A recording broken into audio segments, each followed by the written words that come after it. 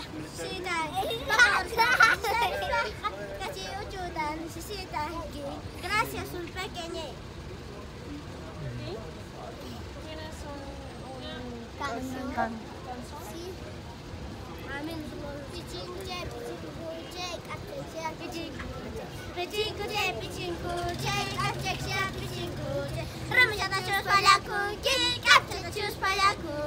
Amin